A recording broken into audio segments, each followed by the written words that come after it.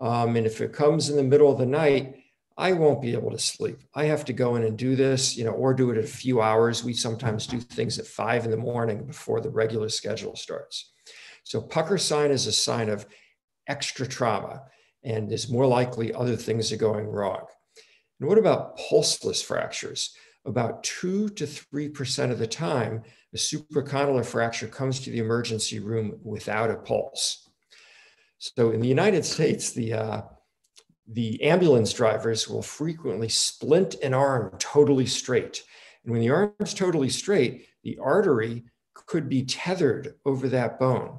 So we teach the residents the first thing you do is just gently flex the elbow, maybe to 30 or 40 degrees and pull on it. Oftentimes, just doing that, the pulse comes right back. It's kind of fun. You have this white hand, flex the elbow, pulse comes back, you feel like you're a hero.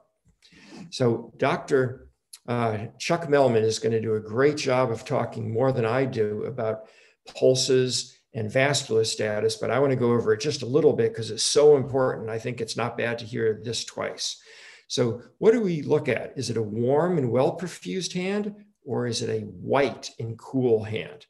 And the topic here is all these are pulseless supracondylar fractures, but some of them have good perfusion. And if it is warm and well perfused, it's urgent. You want to do it that night, but most of the time the pulse comes back, and almost never is there a compartment syndrome or other vascular problems. You generally don't need a vascular surgeon to come in. Now, if the hand is white and cool and has no pulse, that's an absolute emergency. Cancel other cases, get it to the operating room immediately. And we found that this has a high rate of compartment syndrome and a high rate of needing vascular repair. So if the hand is really cool and white, I might even tell my vascular surgeons ahead of time, hey, we may need you later. And you don't need to get an arteriogram because we know where the pulse is lost. All that does is waste time. This is a frequent test question. Okay, nerve injuries. The number one nerve injury in an extension type supracondylar fracture is the median nerve. If the median nerve is injured, there won't be flexion of the thumb. You want to do the OK sign. And this is because the proximal fragment goes forward and hits the median nerve. Now, in a flexion type fracture, the number one nerve problem is an ulnar nerve palsy, because again, the proximal fragment goes posterior, hits the nerve. And it's very, very important that we establish this pre-op because one of the worst things that could happen is we have a normal exam ahead of time and postoperatively the nerve is out because then you know that whatever you did hurt the nerve and you probably have to undo it. And the nightmare scenario is if nobody checked the nerves ahead of time and you discover that you have a nerve injury post op, what do you do? Um, because you don't know if you caused it or if it was caused by the injury. So, any sensory nerve injury has to be treated urgently. That shouldn't wait 24 hours. It should go either in the middle of the night or first thing in the morning. In particular, a median nerve injury could mask the symptoms of a compartment syndrome. This is a frequent lawsuit. If somebody doesn't recognize this and treat it soon and it goes to a compartment syndrome, uh, that could be a catastrophic result. Oh, I'm sorry, going in the wrong direction there. Okay, so a little a pearl for ulnar nerve function is ask sometimes the kids can't cross their fingers when they're really young, but they somehow will always pinch you. And if you can feel the first dorsal interosseous muscle set as the patient pinches you, you know that the ulnar motor nerve is intact. Okay, so do we need to treat supracondylar fractures with nerve injuries urgent? Well, we do if it's any sensory nerve injury, but the one exception is an isolated anterior interosseous nerve. There's no sensation to that, and we've shown in a multi uh, in a multi-center study that that is not a reason for urgency by itself. You can do that the next day. We don't worry about that. The anterior interosseous nerve seems to be injured early, uh, easily, even without too much trauma. So here's a pearl. As long as a patient can absolutely totally straighten the arm, probably the elbow is okay. In other pearls, it's pretty similar for the finger and the knee. If you're not sure what's going on, ask them to fully straighten the joint. If they can, there's a good chance that there's not a major fracture. Okay, so in summary, emergency cases, pulseless, poorly perfused compartment syndrome, absolute emergency, get it in. And urgent, things you want to do in the middle of the night, puckering, ecchymosis, excessive swelling, high energy sensory nerve injury. And we used to say forearm fractures, but now there's a few papers out showing just because you have a forearm fracture and a supracondylar fracture doesn't necessarily mean that you have an increased risk of compartment syndrome, but I'd still be a little extra worried. Okay, now treatment. So in the United States, more and more of these cases are treated with closed reduction as opposed to open reduction. So over 90% of supracondylar fractures in the United States are treated closed. And you see this is happening more and more and more over time. So what are the indications for closed treatment? Almost everything. Almost every one of the supracondylar fractures we see, we want to try to treat closed. If it's an open fracture, you know, it's already open, stick your finger in there, maybe it could help you if you're reducing it and you feel this rubbery feeling, you don't feel good bone on bone, the median nerve could be in there, so you might want to open it. Or if you do a closed reduction percutaneous pinning and post op there's a nerve or vascular injury, you may want to open and see what's going on and fix it. Okay, so let's go type by type. So a type 1 fracture is minimally displaced. You may see a fracture, you may see a posterior elevated fat pad, but Baumann's angle is good, anterior humeral line is good, so the overall alignment is good. And this will heal all by itself. We put them in a long arm cast for three weeks. They all heal, they all do well. Um, but beware of medial comminution. This is a frequent test question. If there is medial comminution, um, then we measure Baumann's angle. It's probably less than 10 degrees. This needs surgery. And if this doesn't get surgery, then what we have is cubitus varus. So a type 2 fracture is a, type, is a case in which the anterior humeral line does not touch the capitellum. We cannot accept this position. Remodeling is not reliable. Now, maybe it is in really little kids, but I think to stay out of trouble, we should assume that remodeling is not reliable all the time. So in the old days, even textbooks said that you had to flex the elbow greater than 90 degrees for a type 2 supracondylar fracture. But if you do flex the elbow greater than 90 degrees, what happens well, is your you could lose the pulse and compartment pressure increases. So we never, ever, ever want to flex the elbow more than 90 degrees in a supracondylar fracture because you're putting the elbow and the arm at risk for compartment syndrome. So type 2 fractures generally are treated with closed reduction and pinning. Now, there's a number of papers out there. One of them is from Chuck's institution. There's a few newer papers showing most of the time you can treat a type 2 supracondylar fracture just in a cast without surgery. However, somewhere around 20, 25% of the time, it doesn't work. It doesn't end up in a good position, and you have to go to the operating room. Um, so if it doesn't reduce 25% of the time and you have to do something, and the kid doesn't get back to see you in time and it heals in a bad position, that's a bad result that could have been prevented with closed reduction percutaneous pinning. So I'd say nowadays, if it's a test question, you reduce in pin a type 2. And in real life, in my institution, we reduce in all type 2 fractures. And we've done studies showing they have wonderful results with a very, very small rate of infection or other complications. Okay, so a type 3 fracture, this is easy. You just fix it. We know we need to fix a type 3 fracture. And how do you do your operating room setup? I personally like having a C arm uh, within a position where it can go both to the lateral and to the AP. Now, you usually don't need to move the C arm around, but why not set up your room so you can do everything and you won't have to set that up later? And then, anytime you're doing any surgery, in my mind, the surgeon's eyes should be looking directly at the TV.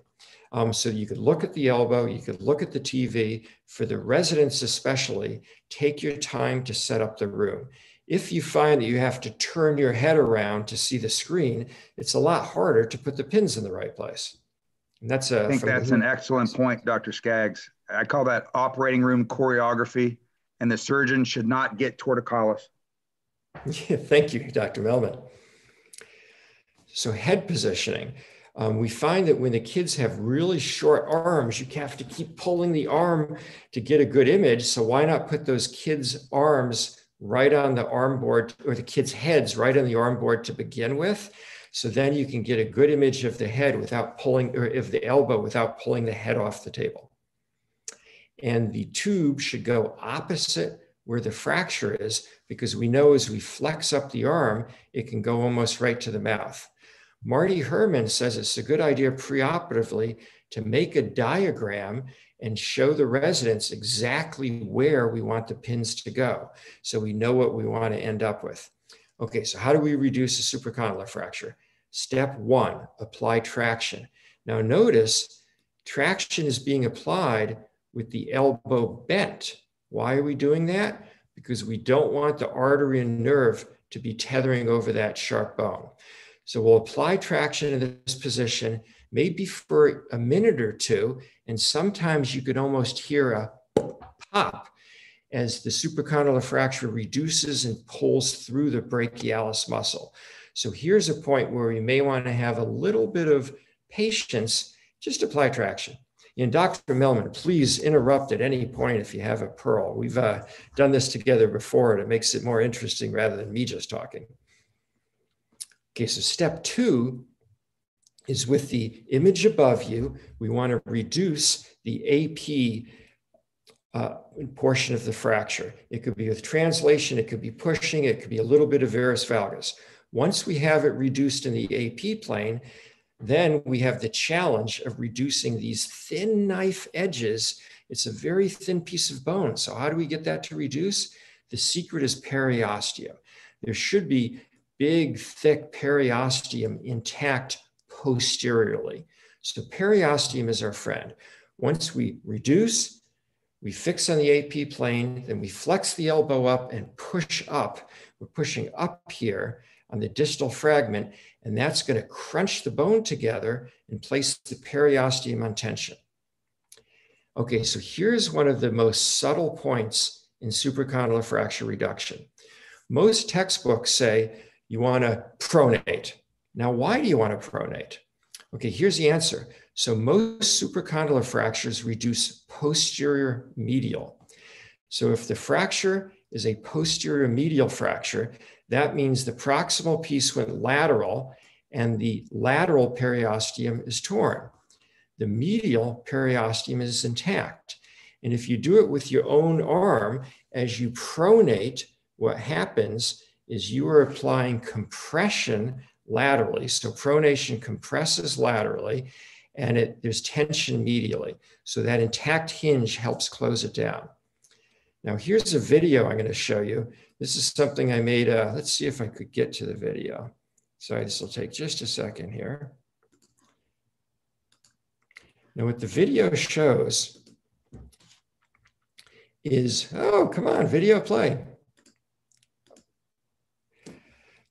So imagine that this is a posterior medial displacement, and as a posterior medially displaces, the medial periosteum remains intact, which is represented by that string. And then you can imagine as you pronate, it closes the lateral portion and it puts tension across the medial tension where there is good uh, periosteum intact. So now here's what you really have to remember when you're doing surgery. If you pronate and it doesn't work, think about supinating because sometimes it's posterior laterally displaced. And in that case, the lateral periosteum is intact and you have to supinate. So the bottom line is try pronating. If pronating doesn't work, try supinating. Okay, then we flex all the way up. And if the fingers are touching the shoulder, there's a good chance, say that again. If the fingers are touching the shoulder, there's a good chance that the fracture is fully reduced. So the finger should touch the shoulder. Next is the milking technique. So the distal humerus is kind of wide and sometimes pops through the brachialis. And then we should have a lot of patience here as we use our thumbs to push and push and push in the brachialis. And sometimes you hear, you almost feel a pop as the bone pops through. It's a very satisfying feeling.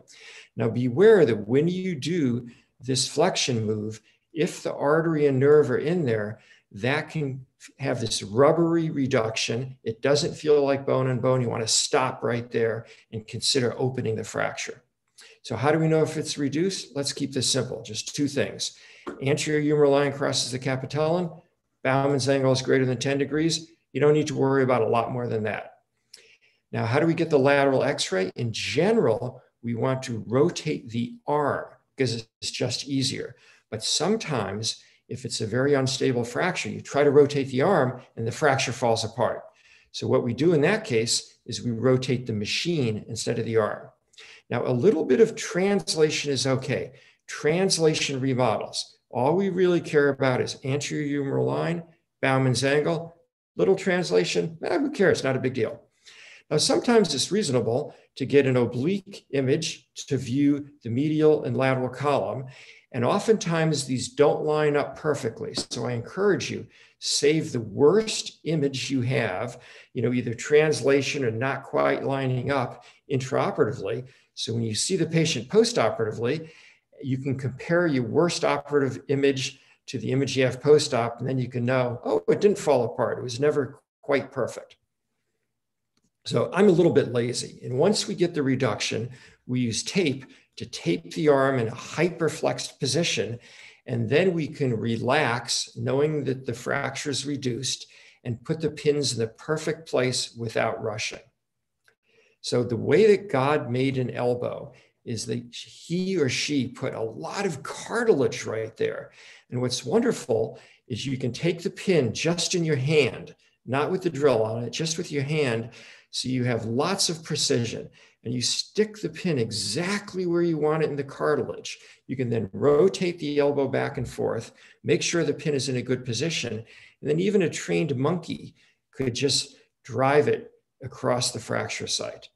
And the general rule is you want two pins for a type two, three pins for a type three. If there's any question, put in an extra pin. It's not a sign of weakness, it's a sign of good judgment. So, what about injuring the ulnar nerve with a medial pin? This used to be controversial. I don't think it's controversial anymore. Lateral pins do not injure nerves. Medial pins do injure nerves sometimes, even in the best of hands. So I would say at Children's Hospital Los Angeles, we probably use lateral pins only in one out of a, I'm sorry, in 99% or more of the fractures we will only use a medial pin maybe in one in 100 or one in 200 fractures. Okay, so what are the rules of pinning? This is the most important. You want to separate the pins at the fracture site as far as you can. There's a great study out of San Diego saying at least 13 millimeters, or even easier to remember, is at least one third the distance of the fracture. Number two is make sure that the pins go through the cortex. You may need to rotate the arm a bit, get oblique views, but save those views with the pins through the cortex. Um, so you rotate the arm, make sure you get a perfect lateral view and save it. So what happens if you rotate the arm and it falls apart? Then you rotate the C arm. Sometimes you can't rotate the arm, you rotate the C arm. So the AP X-ray is kind of difficult to interpret when the elbow is flexed. You know, the other bones are in the way. So after the pins are in, extend the elbow a little bit, get a really good image of the elbow. You want to save that.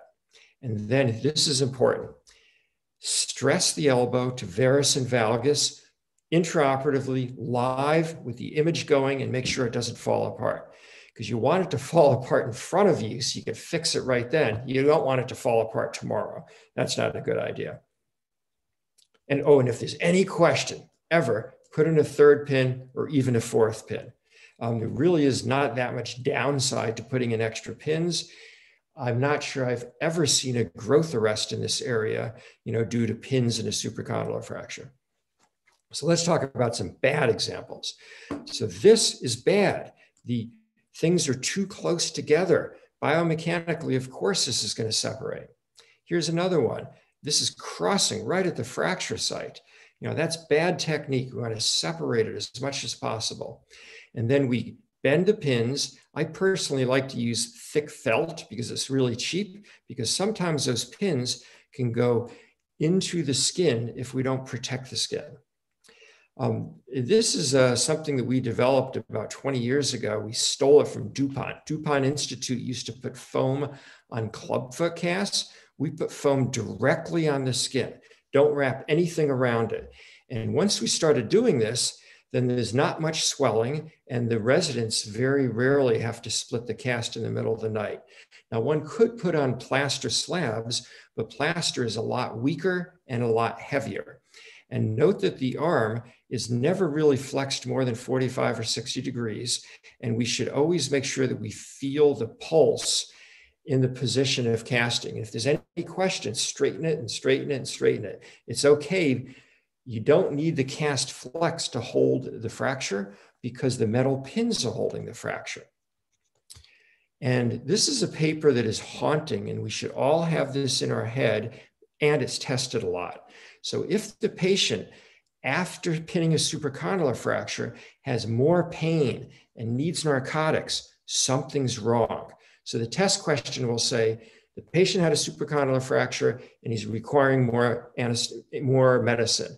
The answer is there's a compartment syndrome going on. We have to be very cognizant of this. So, in summary, to fix a supracondylar fracture, traction, then varus valgus, fix it, flex it all the way up. Try pronating first. If pronating doesn't work, try supinating. Put in the pins.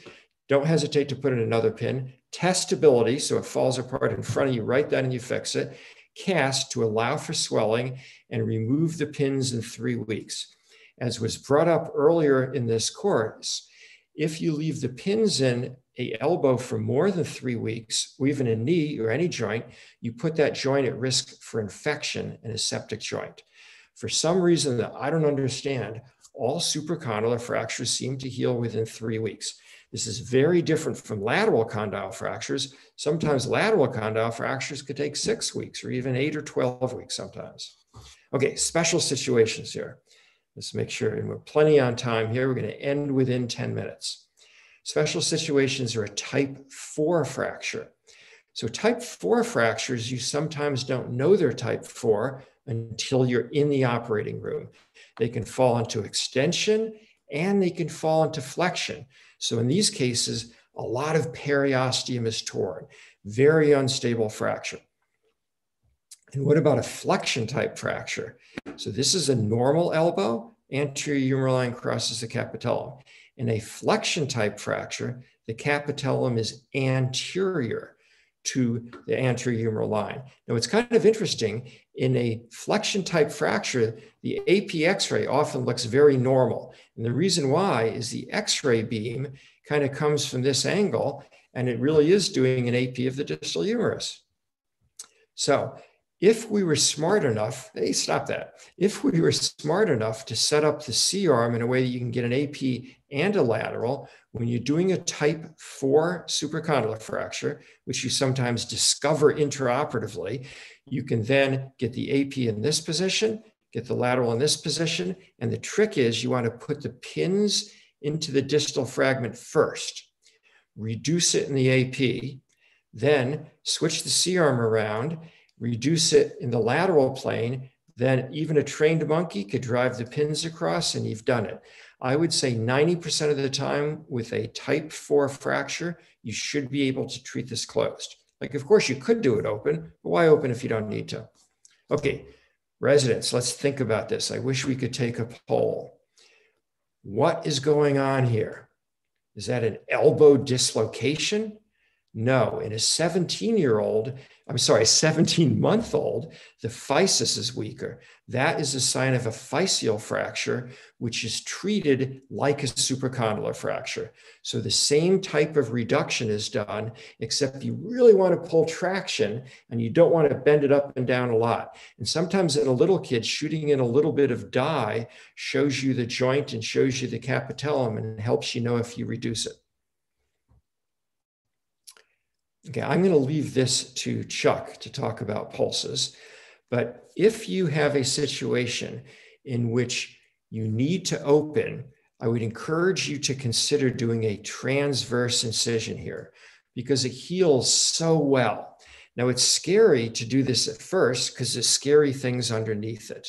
Now, I'd like everybody to do is flex your elbow up to 90 degrees, and you should be able to feel where the lacertus fibrosus is. So feel your bicep tendon and just medial to it, you feel this sharp lacertus fibrosus. That is the key to opening a supracondylar fracture. You go through the skin, you go through the lacertus fibrosus, and right there is the artery and nerve medial to the biceps tendon. This is not that hard of a dissection. You know, once you do it once, you say, hey, I could do this. This was a case when I was a fellow 25 years ago. We opened it up, and here's one end of an artery, and here's the other end of the artery. And if you open it up, sometimes it's hard to find the nerve in the artery. It could be anterior to the fracture, it could be posterior, it could be in between.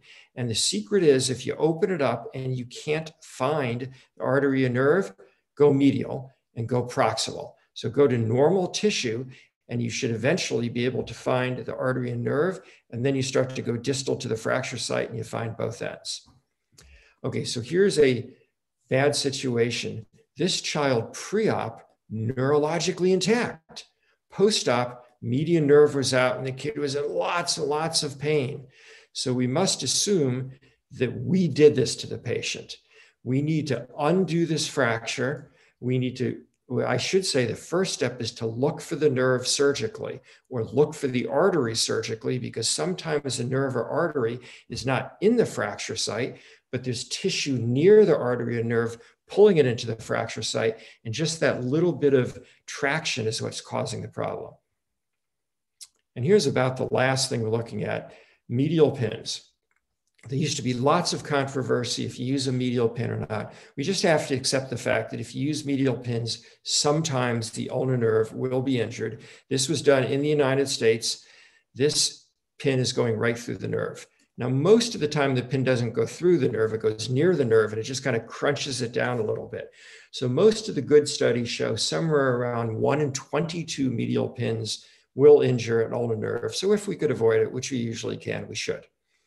And this was brought up earlier in the question and answer session. Um, the blood supply to the trochlear and capitellum is only from one artery posterior.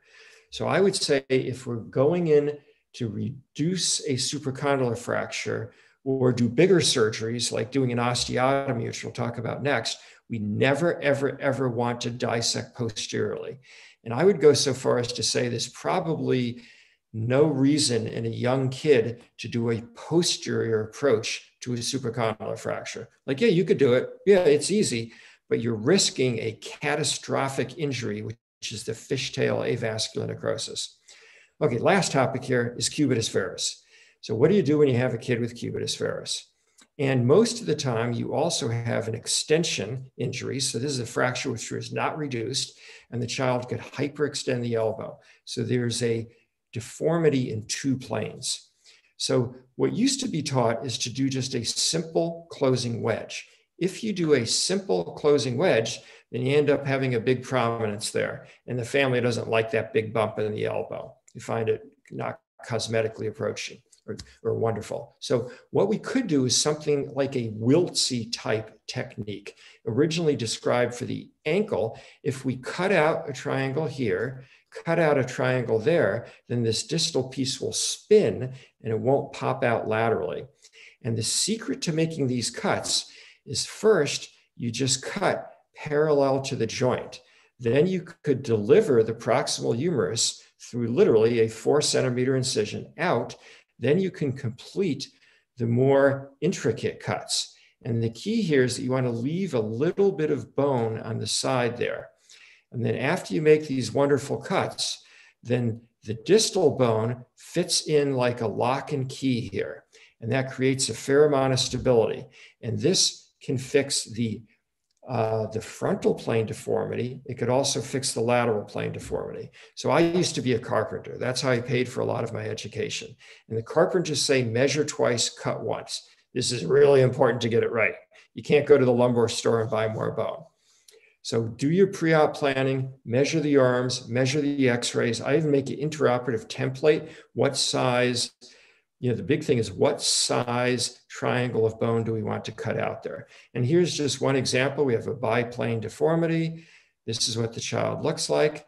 And this is what it looked like intraoperatively. So you could see that Baumann's angle is now much better than it was before. And we can see that the anterior humeral line goes through the capitellum. So now we have a good anatomic position after making those cuts. And that is the end of my talk. I am very grateful to your society and for Sandeep for taking all the work and energy uh, to help teach us all and to help us deliver better care to kids. Thank you. Thank you. Thank you, Dr. Skaggs. That was really masterful. Uh, we'll take the questions after Dr. Mehlman's talk, but I just have one, one question for you. Where do I get a trained monkey? I don't know. Yeah, that, but that is a really important so, point. You know, anytime you can get the pins into the distal fracture first, it just makes it so easy to then run it across after your reduction. Yeah, it's a lovely. That was superb. So over to you, Dr. Mehlman, and then I think Taral will ask questions uh, for both the talks. Very good. Have we uh, got the slides?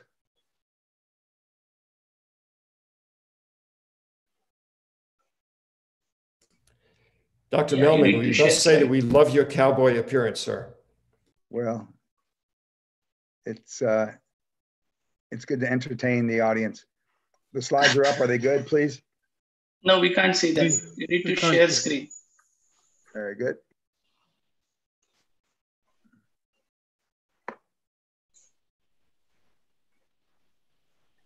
And now? Yeah, they're coming up. Yeah. Yeah. Very good. Perfect. So yeah. um, Dr. Skaggs has had done a uh, tremendous uh, presentation. Instead of instead of following a monkey act, I'm following a dog act, a wonderful dog act. And so the scientific program is uh, really impressive. We're proud to be part of it, and we will do our best to um, do this in the next 20 minutes. Um, these were these. This was the bio slide that we showed earlier. Um, and my disclosures are that I am involved with a board review course, uh, which I do get paid some money for, which is shocking. But all the other work I do, I work for free. So apparently I'm very cheap labor, all the other work.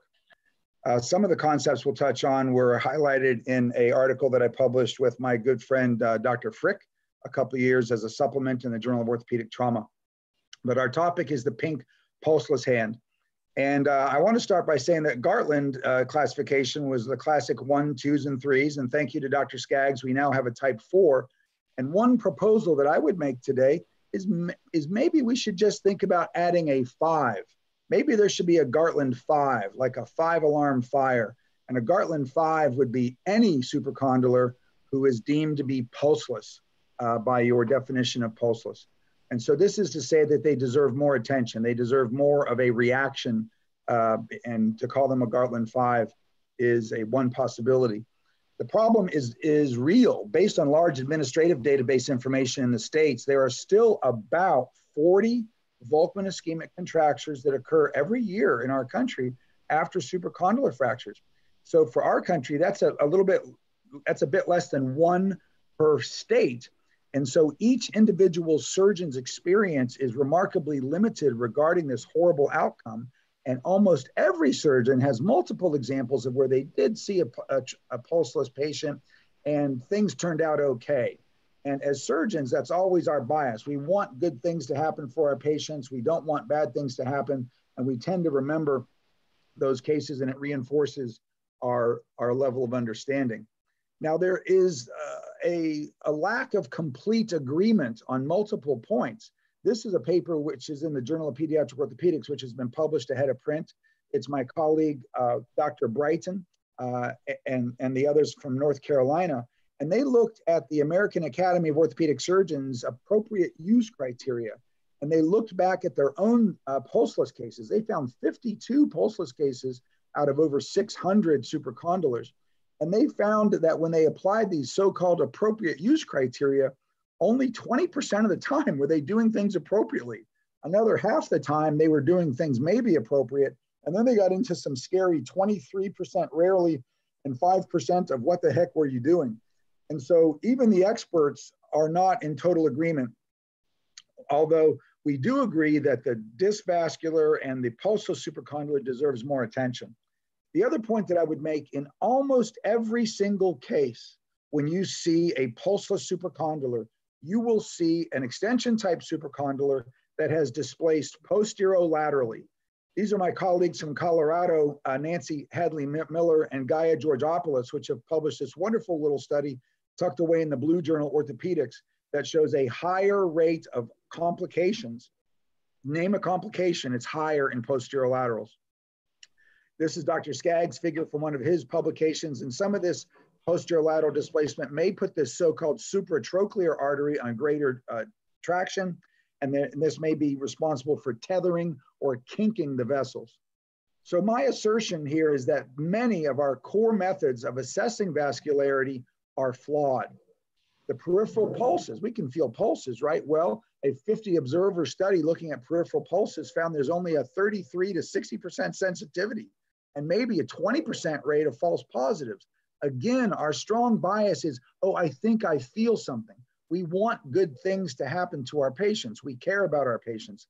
And so this rate of false positivity is rather intuitive in my opinion. Well, maybe capillary refill would be better. Uh, well, our colleague Norm Otsuka, now based out of uh, New York State, used a blood pressure cuff to, to knowingly alter the arterial flow to the limbs of children and they found no correlation between arterial blood flow and capillary refill time, even when the blood pressure cuff was completely inflated and there was thus no arterial flow. And capillary refill is an inexact science to say the very least. Is this good capillary refill? Is this bad capillary? Maybe the surgeon's finger looks rather pink. Here's another version.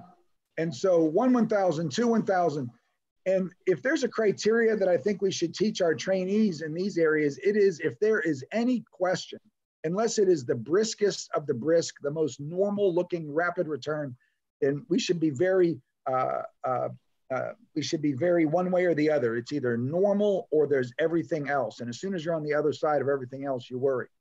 Now, all of us have held this so-called handheld Doppler. It's one of the most ubiquitous instruments in trauma ORs, uh, et cetera. Uh, it's amazing when you look at the literature on this device. We may question the value of this. These were uh, these are vascular surgeons showing a 43% sensitivity. Now this was lower extremities uh, in adults with suspected vascular trauma, and so perhaps we need more studies in our children utilizing these same devices. This is another vascular. Hey Chuck, can I ask you a question here? Yes, sir. Chuck, are you suggesting that when you use that handheld Doppler, about half the time it's missing a problem? I'm telling you that it is much, the data when you dig into this is shocking. These are vascular surgeons saying that the handheld Doppler, what you hear is not always what you get. Now, if I was going to make a case uh, for using it, I like to compare, like uh, like David alluded to earlier. I think God was good to the orthopedic surgeon because she gave us a normal side to compare to, and I think you are in a much more defensible position if you if you check the trauma side and listen to it carefully. And then you check the well side and you account for the patient's uh, blood pressure and you tell and you document and you say that that sounds the same. You know, many, many people, you know, what's normal on the handheld Doppler? It's actually this thing called a triphasic signal as opposed to a biphasic signal. And so I don't know how many people have perfect pitch. I'm not one of them. Uh, and so comparing one side to the other makes a lot of sense. My colleague Ruben So from the KK Children's there in Singapore has a nice study looking at the uh, pulse oximeter and just not the presence of a beep, but the presence of a wave form on. So a more sophisticated pulse oximeter is what uh, Dr. So wrote about uh, in the clinics in orthopedic surgery. So that's another device that may help increase our, our or decrease our comfort with the pulseless supracondylar that we're looking at. My colleague from Australia, Dr. David Little, has pointed out that this thing called near infrared spectroscopy, which measures tissue level oxygenation, may be of value. It needs to be studied more. We need more studies. And this is myself with Dr. Little, uh, Mr. Little, I should say, since he is from the, uh, Australia, and then the one, the only Manoj Ramachandran there as we were together in London. So thank you, Dr. Little, for stirring the pot and making us think about NIRS. Our adult colleagues were much less uh, impressed with NIRS, at least the current status of NIRS for adult lower extremity trauma. And so this is a paper published in the 2018 American JBJS that raises questions about the current uh, utility of NIRS in that setting. So clearly this deserves more study. Well, what about a fancier Doppler? What about a color flow Doppler or the so-called Doppler duplex?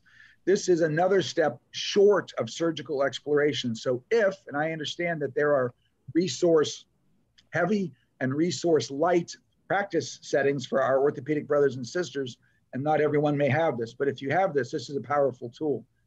A series of papers in the early 90s really established what a strong tool this is. Uh, amazing. This is a study out of the uh, Department of Surgery, University of California. 100% sensitivity, 100% specificity. I could list like five other papers that all list incredible utility of this device. Our colleagues in Rome, led by Ernesto Ippolito, uh, looked at this in children and published it in the Journal of Bone and Joint. Um, previously, the British JBJS in 2013, and they were very keen on the use of this vascular investigation because it was non-invasive and it was an extra step to decide who may need a, a surgical exploration and who may not. So this can be of value. So my further assertion is that the pulseless supracondylar humeral fracture patient is an epidemiologically distinct subgroup of patients who are at higher risk for a permanent, irreversible complication, especially when that complication is not treated early. So you have to find it early if you have any hopes. They deserve increased attention aimed at minimizing the risk of this Volkmann's ischemic contracture early success fixes most of these pulseless patients. This is another important point that Dr. Skaggs has already touched on. This is an awesome paper by Dr. Skaggs' group out of Los Angeles. About 75% of the time, if you have an otherwise pink or perfused and pulseless supracondylar, three quarters of them get their pulse back just by you doing your job. So I agree, I agree completely with Dr. Skaggs on this concept of get it done, get it pinned, get it stable. Now, the other 25% still deserve further observation and possibly further resources. Now, in an even scarier subset of patients, Dr. Skaggs, in a multi center study, which does include at least a few Cincinnati patients, looked at pulseless patients, now a mixture of perfused and some not so perfused, but all of these patients had a median and at least an AIN palsy, and some, some of them had a full, what we like to call a high median nerve palsy. In over half of this cohort, the pulse came back with closed reduction and pinning. But it is noteworthy that at least one of those patients where, that, where there was a, at least initial return of pulse did turn into a full-fledged compartment syndrome about nine hours later and required further treatment. This nerve business deserves some other attention to detail. There's the okay sign where your AIN is working and the not okay. When you think you are seeing an AIN palsy, you need to make sure that it is only an AIN palsy. So the very next test to do is to look for high median nerve function with virtually no variation. The high median nerve is responsible for your sublimis function at the PIP joint. So block the other fingers. I like to see the long finger bend. When I see that bend, I like to hold the other fingers and watch a ring finger bend. Even in an injured child, sit there and hold the fingers long enough and you'll see flexion. When you see high median nerve function, that is reassuring. If the entire median nerve is asleep, there is a strong suspicion, a strong case can be made that the patient does not perceive pain the same. You have a neuropraxia, and the ability to perceive pain can be altered in that patient. That makes everything even more dangerous. So, every pulseless patient deserves early surgery because that restores the pulse in most and they deserve continued focused attention, often with additional consultants. Get another set of eyes, get, uh, get another colleague to weigh in on the case. So, what are we really talking about as we continue to think about these pulseless supracondylars? We're worried about this guy. We are worried about Richard von Volkmann, who from the early 1870s until the 1880s had paper, papers that were published regarding this ischemic contracture and these are ugly pictures. Some of these, it hasn't changed much in hundreds of years. It's actually stunning. We, we would like to never see this again. It's an irreversible complication that is an absolute tragedy. There's there's no there are are uh, there are procedures, but these are procedures that may may add a little bit of function. Most orthopedic surgeons think that the only way to get a Volkmann's ischemic contracture is via compartment syndrome, acute compartment syndrome. That is important. That is a major way. But there is also, remember the ischemic contracture. The other way is arterial compromise. I'm not talking about revascularization uh, compartment syndrome. I'm not, I'm not, I'm talking about an artery that is injured and never reopens.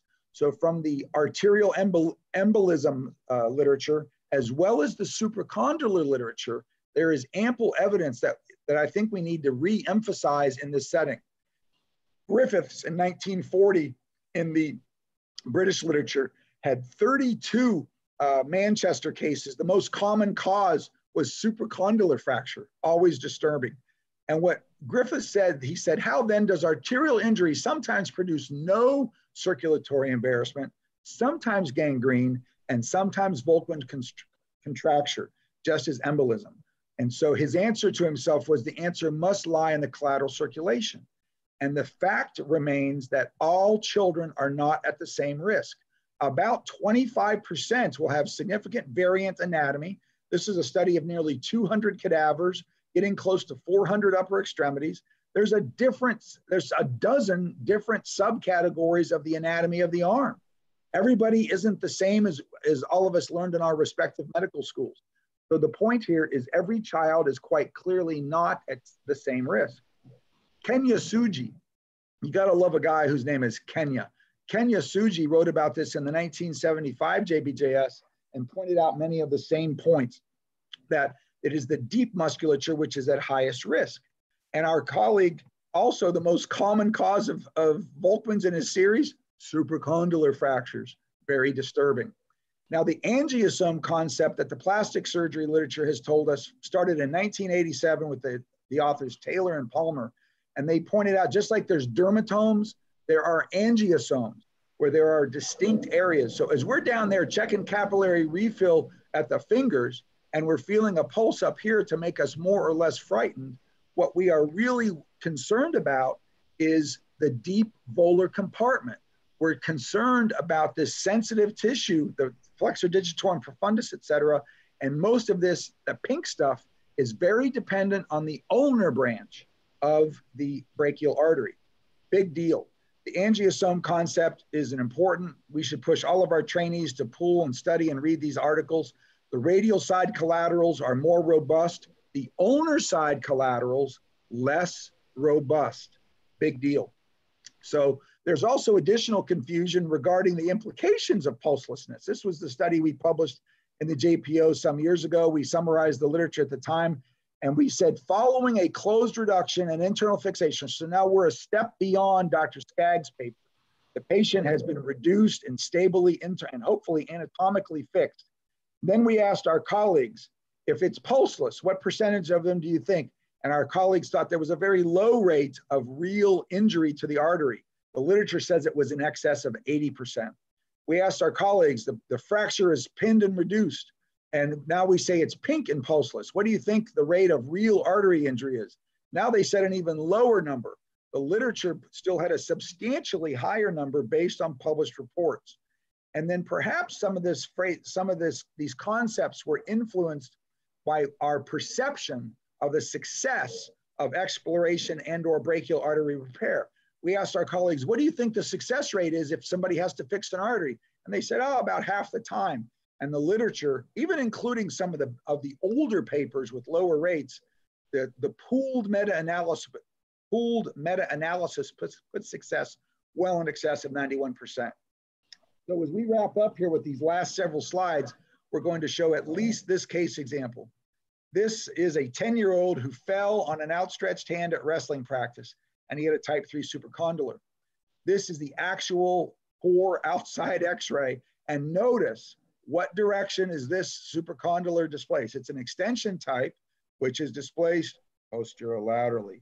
Thank you, Dr. Hadley Miller and Dr. Georgopoulos out of, out of Colorado. This is as soon as I see a posterolateral, I start to worry more. The kid had a bunch of scary phraseology in the chart, weak pulses, dusky and cool. It terrified the outside institution. The child was rapidly transferred to the children's hospital. At the children's hospital, uh, the pucker sign was noted that Dr. Skaggs described very nicely. And this child went to surgery less than three hours after coming to my hospital, less than five hours after injury.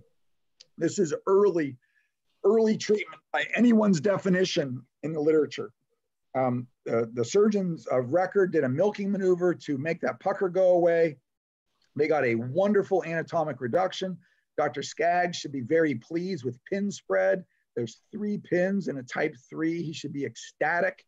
Uh, the child has a nice fitting uh, cast. We do not have the Children's Los Angeles foam on there, but we have a stretch relax technique and a safely applied cast. And now no one can feel a pulse because they put on a cast and there's no access to even feel. But we keep looking at cap refill. The nurse is happy with cap refill. The others that have assessed the patient are happy with cap refill. The child did have some motor neuropraxias, but not high median nerve. His high median nerve was fine. And sensation, these were motor only. So this may have been due to pain. Sensation was intact within all of his described dermatomes. And he went home on narcotic pain medication. Two days later, he represents with increasing pain. So what, what I tell my uh, residents or your, your registrars based on those that are listening, I go, what should you do when the patient bounces back and you see them in the emergency room. I said, you should have a change of underwear because you should poop your pants. You should be terrified. A bounce back is a bad thing trying to happen. And you have to have a low threshold to do everything you can to, to help keep anything bad from happening. The patient represented, they were evaluated by the surgeon of record, the cast was removed, the compartments were inspected, there was this very creepy phrase in the note clawing of fingers were noted. A slightly looser cast was applied. They were very happy with the capillary refill. There was actually no mention in the chart of the radial pulse, but the compartments were deemed soft. They were deemed uh, not, you know, not at all suspicious by a board certified orthopedic surgeon. A week later, the child, and dutifully recorded in the chart are the nursing records, the visual analog scale. The patient is feeling better. Now the visual analog scale is only a four. At two weeks later, the visual analog scale is only a one. And that's because the tissue was progressively more and more dead. There was less ability to perceive pain. Dr. von Volkmann came to visit. This is the last full fledged Volkmann's ischemic contracture that occurred at my hospital. This is getting close to 20 years old now, and we hope to keep it that way. And as I like to point out, Look how amazing that capillary refill is. Even with the arm, with, with the forearm completely dead, right? A full-fledged Volkmann's, the capillary refill is still awesome. And so my point is that at the front end, we need more evaluation. Was this a brachial artery? Was this a selective ulnar branch injury to his deep volar compartment? And everything in that angiosome paid the price. Um, those are my questions. We'll leave it at that because time is up. Thank you. Thank you, Dr. Mehlman. Uh, thank you for raising the issue of angiosomes. And I think it's important for everybody to realize that uh, the arterial injury is higher than we think it is. It's not only about uh, survival of the limb or gangrene, but it's about Volkmann's ischemic contracture that we should worry about, the muscle blood flow. I think that was the point.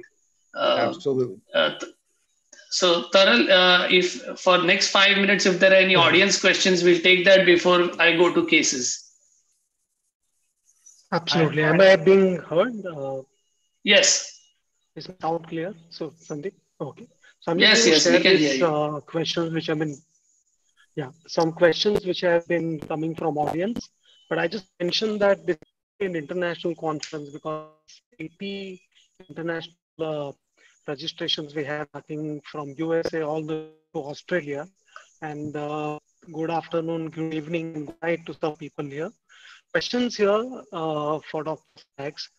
How do you check nerve in an infant or a small child, especially when the child is crying, not cooperating? What do you do? Yeah, it is difficult to check the nerves on a crying infant. And the truth is that maybe you won't be able to. Um, one of the tricks, if it's really important to know, is you could put the hand soaked in a wet washcloth and see where the skin wrinkles. Um, if the skin wrinkles everywhere, you know that at least sensation is intact everywhere. And sometimes you can see the skin not wrinkling where the nerve is injured. Um, but there, I really, you know, to be honest, you can't always say for certain that you can test all the nerves of an infant. A lot of it is observation. Okay. Uh, Taral, next question. Yeah, next question. Sheetal? Yeah. So there are many questions about pinning. Yeah, Sheeta, you wanted to say something, please. Yeah, I have a question for Dr. Skaggs. Um, you know, actually, I've got two questions. One is that, uh, you know, we teach the residents now that the pronation supination thing that you talked about may not be as important if you're pinning all supracondylar fractures. My question is, how important do you feel? Because we just keep the arm in a neutral position after pinning, and we have not noticed clinically any issues, you know, uh, keeping it in pronation supination. And my Second question. Um, Actually, can we do one at a time? So okay, I find right. it easier. Yeah, okay. I, I love your idea of casting it in a neutral position. Um, I think that's good for many reasons. If you're doing extreme uh, supination or pronation, I think it puts more kind of vascular stress in the muscle, and I think you're risking compartment syndrome more. So I love the idea of casting in a neutral position. And I think the pronation and supination are important concepts when you're trying to do the closed reduction, yes. probably a little bit less important when you're casting. You know, you should be holding the reduction with the metal, not the position of supination or pronation. So I think yeah, you're pronation exactly and supination are reduction tactics. And once once right. you get it reduced and then stably fixed, it's a moot point. Absolutely. Okay. So okay, let's have the next one. Thank you. And the next thing is, do you treat all cubitus varus with an osteotomy, or is there like how do you judge when you have cubitus varus? How do you say, okay, this is acceptable, this is only like five degrees, or this is not acceptable? Because patients most of the time are asymptomatic. They just come in because either they have a deformity or they have, you know, they are curious to know, you know, if this is okay. And so you can walk, you know, you can talk them out of surgery that this is not going to be an issue, it's not going to progress, or you can just say we have to do an osteotomy. How do you talk about, you know, mild cubitus varus versus, you know, severe deformity? So the answer is I do what the patients want to do, but the issues are one, sometimes it is painful. Um, so if it really is painful, then I think that it could often be improved with the osteotomy, but in general, it's not painful. In general, it's simply a cosmetic deformity. There are some reports that you're going to be more at risk for a lateral condyle fracture if the kid falls on it, but I frame it that it is generally a cosmetic deformity. And if it doesn't bother you, it doesn't bother me. So I really have to have the patient or family asking me to do the surgery. Otherwise, I don't think it needs to be done. Now, I think if the surgery is done by a surgeon and at a center where you do it on a regular basis, I think that the surgery could have predictable good results. Um, so if the patients want it, happy to do it, but I never talk them into it. Okay. No, it's not uh, completely uh, cosmetic. I mean, there's a rate of tardy ulnar nerve palsy. Shawn O'Driscoll has said perhaps posterior lateral rotatory instability and also an increased risk of lateral condyle fracture. So I, I respect what you're saying. It, it may offer very little functional problem, but there's there's a few things on the list for us to mention to them about trouble. Uh, there are a yeah, few it, questions to Dr. Mehlman. Uh, uh around the vascular status of the limb. What is your incidence of doing an open reduction for type 3 and vascular repair when you have an absent pulse with a pink hand? Do you think that that should be done each and every time to prevent Volkmann's? No, and that's not my message at all. So that's where most people have great pushback to think, oh, I'm supposed to explore every one of these. My message is much simpler and I, and I think easy to agree to and that is that we should worry more and do some additional studies.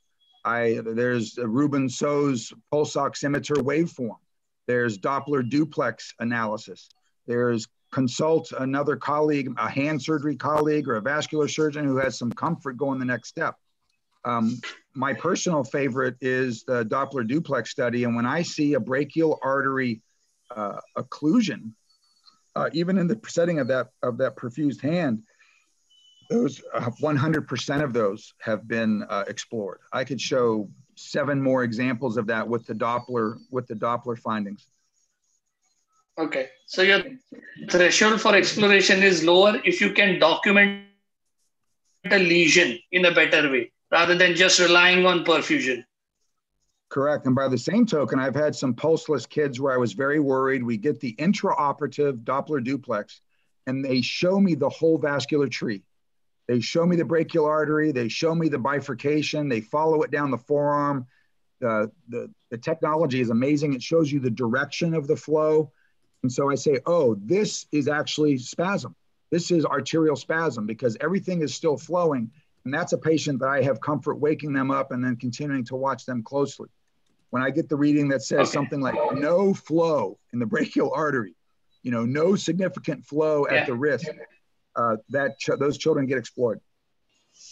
Okay, so there are a lot of questions on pinning configurations and uh, Dorgan's pin, etc. I think we will take them with the cases because we have cases where we will talk about pins. So I think I will start sharing the screen and we will go to the cases so that uh, we can. Uh, are you able to see my screen? Yes, sir. Yes. Okay. Yes, Sandeep. Okay. So, so what screen. we are, yeah, it is full screen. Can you see it? Yes. Yes. Yes. Uh, okay. So what we hope to achieve through these cases is look at some disasters, try to point out reasons why they happen, and suggest some solutions. So this is a eight-year-old uh, girl who had a fall and was treated as a type 1 supracondylar in a slab. So I would ask Mandar, uh, do you think that uh, a slab is good enough treatment for this? Yeah, so looking at it primarily, it, yeah. So can you hear me? Yes. Yes, Mandar, go ahead. Yes, uh, yes, so go looking ahead. at it prime, it looks fairly okay. Uh, but uh, the only worry, so I'd like to give him give her a cast, but uh, keep her under close follow. Up. Okay, okay. So this was treated in a slab and at two months follow up, this is what happened. So, uh, Dr. Mehlman, if you can comment what really happened and did we miss a trick here? Well, all, all I can say is uh, thank you for sharing. We all learn from cases like this. When you look at the injury film, you can look back and say that's a that's a faint amount of medial impaction. Um, okay. And yeah. If you could manipulate the image enough, maybe you'd convince yourself that you see cortical violation even on that but that still meets the definition of a type one. You can have a complete undisplaced fracture, and that's still a type one. Um, so I, I, don't know. Maybe this is the one that should have been hyperpronated, you know, in the cast. yeah, other, I think it's other... important to pay attention to the pillar combination. Dr. Skaggs? So I think anytime there's medial comminution like that, I would recommend pinning it. Um, and okay. as Dr. Mehlman pointed out, you want to do extreme pronation to help. But more importantly, during surgery, fully extend the arm and push valgus. And I find you have to push so much valgus, you're almost afraid you're going to break the arm. And I think that there is so little risk in pinning it. And this could have been avoided if it was pinned. You know, now she okay. will need a much bigger operation. Operation. Okay, thank you. So um, this is this is another example, a nine-year-old which was treated again in a cast, thinking this is just a type 2 injury and ended up with a similar bad result. So I guess we all of us agree that it's important to pay attention to comminution and uh, stability because these can easily drift into varus.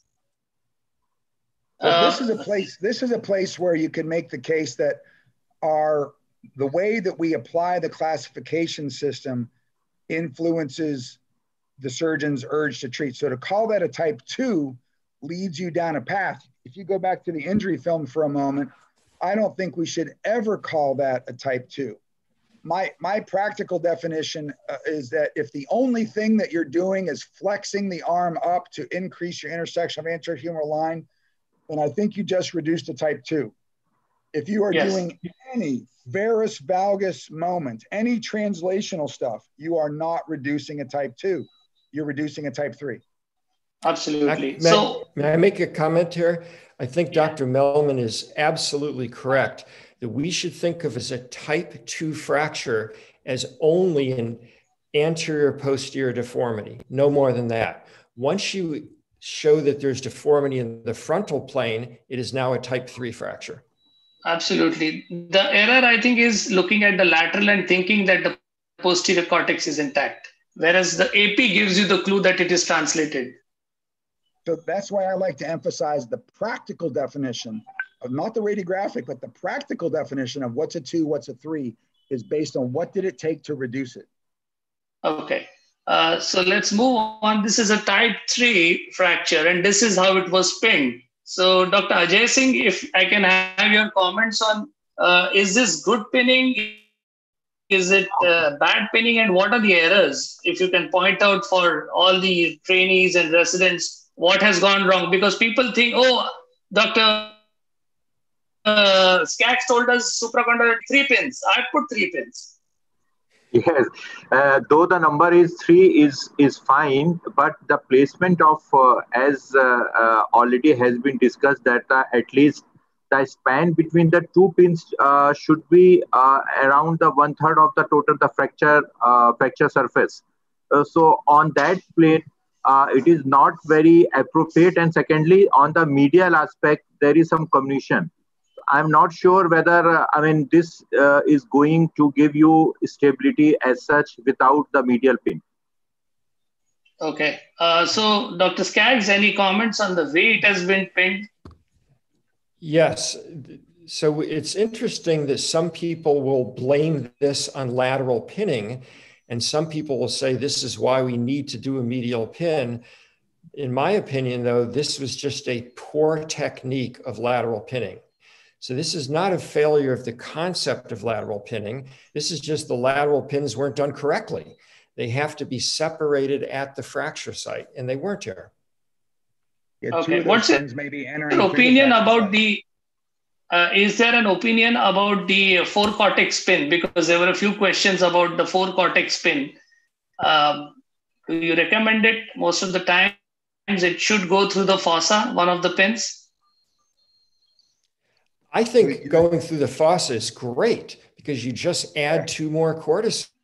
I see no downside to it. Yeah, it's, a, it's okay. Does it cause stiffness? Yeah. It causes stiffness when the pin is there. You know, you can't fully extend the elbow when the pin is in the olecranon fossa, but once you pull it out, it does not cause stiffness. Stiffness. In fact, okay. I'd go so far to say that if you're doing lateral pinning technique, correctly, you have to go across the olecranon fossa. Agreed. Excellent Absolutely. Point. Absolutely. Thank you. Yeah. So another case where again somebody has done pins. Now, uh, Venkat, if you can point out the errors in this pinning technique. Um, though the reduction looks good on the uh, AP view, the lateral view, we see that the reduction is not proper. The fracture is not reduced well and they put uh, cross pins. Yeah. So right. I think that's so, so, so cross pinning as a concept which is published as being biomechanically stronger doesn't work if your reduction is not good. So the prerequisite to pinning has to be a good stable reduction to begin with. It's not the pins, it's also the reduction quality that is important. Sheetal, any points you want to make? Uh, you know, yeah, I mean the reduction is not good, and uh, you know, as as Dr. Skaggs had pointed out, lateral pins work mo- most of the time. But my point is, what do you do from there? So okay, so you have lost reduction, or maybe you had good reduction, but now you've lost it, and you end up with this X-ray. If clinically the patient doesn't have cubitus varus, would you do anything at this point? And so uh, we will come to that, Sheetal. We have delayed presentation, second opinion cases later. I'll just move on here because. But uh, so just one question right now, uh, if you can go back. You know, yeah, sure. We, all, we, we are never going to be perfectly reduced. You know, I mean, I'm not saying never, we accept a little bit of malreduction, we accept a little bit of a spike, we accept a little bit of rotation. Is there a way for you to judge that this is acceptable and this is not acceptable? Like when you reduce the yes. fraction? That is a great question. Um, I think we have to be simple here. There's only two things we need for a good reduction. The anterior humeral line crosses the capitellum and Baumann's angle is good. And if there's a little translation or a little spike, so what? I think that people get too complicated sometimes when this is really very simple. All right. And there is That's remodeling capacity in the sagittal plane. Right. Okay. So uh, a little older child with a flexion kind of injury, and I guess somebody attended an AO course. So uh, transolecranon osteotomy and bicolumn plating, do you think it's an overkill or uh, plating is recommended for an older child? Dr. Mehlman, any comments? My, my main comment is when you if the surgeon has made this decision, if, if, if for some reason you were forced or compelled, uh, when you when there's that much exposure, that much that implants implants of that magnitude, it's guaranteed stiffness is guaranteed. Guaranteed. Virtually okay. never does that child regain normal motion. Motion. So not a good idea to use so much plates. Uh, again, an older child with a comminuted fracture, multiple pins, but some sometimes we do get a complication like this. You see, there is hypertrophic bone formation in the fossa region causing stiffness, some, some bone here. So, uh, do you think uh, that older children, some kind of low profile plate is a good idea, or you would still end up with putting pins in multiple directions? Well, first off, here, there's that one pin that seems to be almost in the fracture site. So I'm not sure that's a great pin. But I think that if one does more dissection and putting in plates, I think the chance of hypertrophic bone increases. Um, I think okay. that if you put pins in the right place, do a great reduction, that minimizes the chance of hypertrophic reduction, assuming that this was done closed. Yeah, yeah, that's a good. Did this child have an open reduction? No, it was a closed reduction. Very interesting. That's a immensely unusual. I mean, call it yeah. hypertrophic bone. It's not quite heterotopic ossification. That's immensely unusual. Okay. Is, this, is there any? Was there any evidence of infection or anything? Uh, uh, no, no, not really. No infection. Did the, did the child have a head injury? No, no, it was an isolated trauma. Yeah, there's something odd here. I don't think yeah. that this is a result of mistreatment of the supracondylar fracture. I don't understand it. It's All a right. spontaneous I mean, osteochondroma.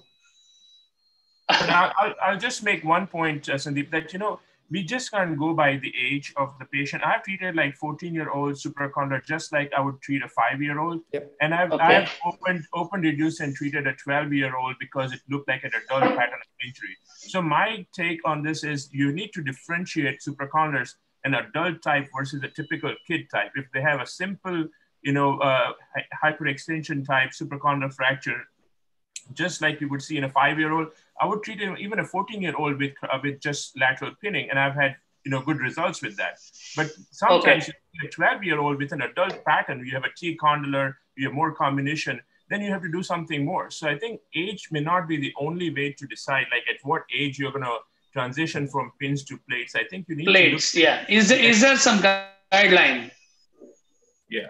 I would, as I said, an adult pattern would need an adult type of treatment. Doesn't matter what the age, like, you know, after like 10 years of age, I'd rather go with what pattern of fracture they have. If it if it seems like more an adult pattern, you would try and treat it like an adult supracondylar. Okay, so something like this, you would probably plate it, Sheetal? Yeah, I think that this one, I don't know the age of the patient, but this one looks like it's, you know, I, you can certainly try with the pin, but there is there is more comminution here on the medial side. I would you know be a uh, little bit more concerned. You know, so so, so somebody as you yeah, there's an intercondylar element there, and this right. Yes. This this is not a supracondylar fracture. Once you have the intraarticular component, we should not think of it as a supracondylar fracture. This is a whole different ballgame. Right. So what happened was this was assumed as a supracondylar and this is how it was pinned and it ended up uh, with healing. But if you can see one part of it was flexed and he came with a flexion deformity and stiffness.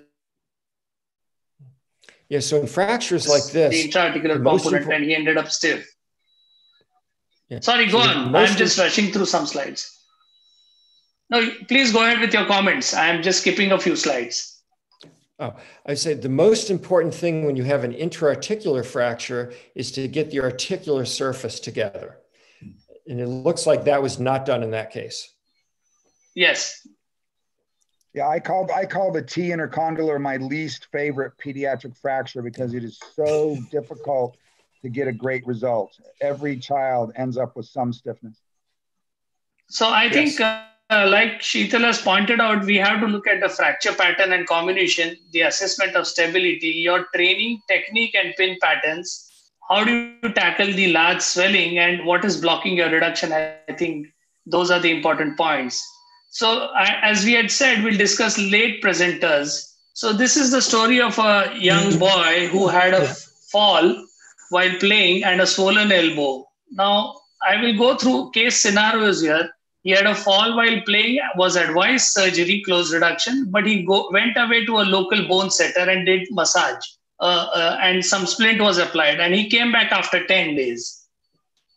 And that was his picture with some new bone formation here. So the question is after 10 days, when they come late, what happens? And if we can have a quiz here, what are you going to do? Ashok, can you run the quiz here?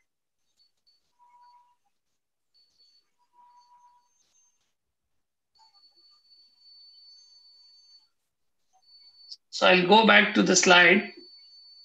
It's a 10 day old injury and somebody has done massage.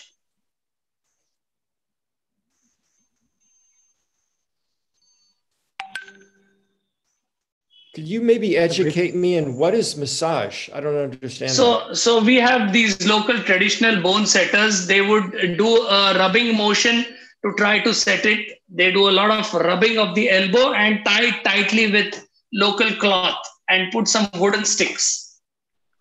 So it sounds like that would hurt if somebody's rubbing a fresh fracture. Yeah, so that does not happen. So set them up for a compartment syndrome. Yes, that does happen quite a lot. So uh, we have 19% who still want to try a close reduction, 10% want to try some percutaneous method, 24% would go for an open reduction, and 47% are going to leave it for remodeling. Okay, so let's see what happened.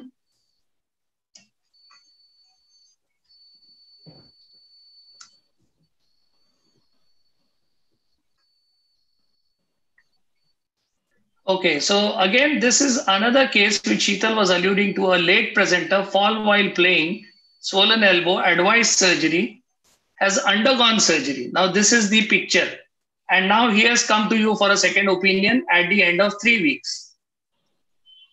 So are you going to intervene? Would you revise this? Uh, Dr. Skaggs, any opinion here? Uh, so first off, this is not a good reduction it looks like there's a huge amount of rotation.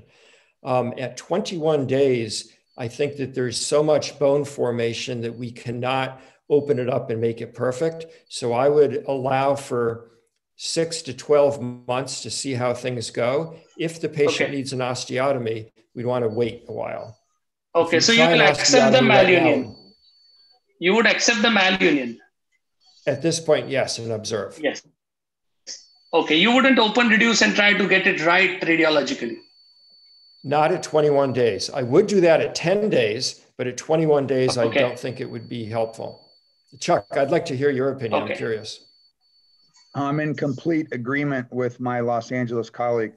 Um, the child is, I mean, I, part of the speech to the parents would be trusting Mother Nature. And if at the I should put up the quiz if at the end of one year we were unhappy, an osteotomy would still be possible.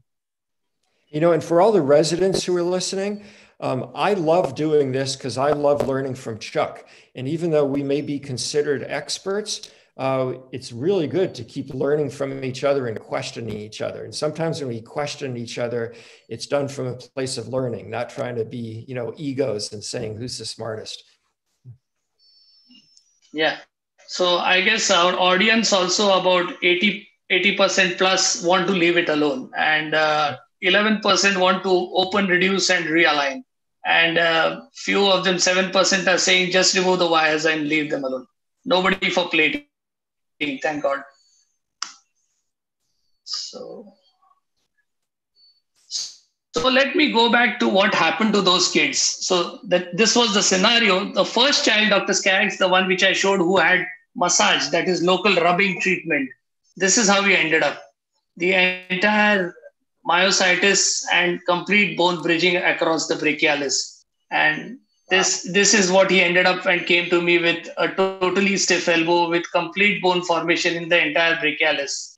And the other guy underwent a late open reduction. Somebody decided that he needs to put it right radiologically. So midline posterior approach, tricep splitting, and they got a perfect X-ray. Again, a stiff elbow, scar adhesions, and myositis. So disasters do happen, and it's best that we learn from them that these are things that should not be done.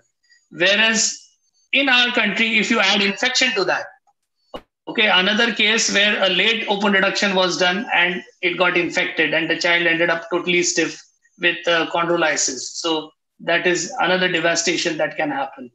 Whereas simply the wires were removed in this particular case and it was left for remodeling.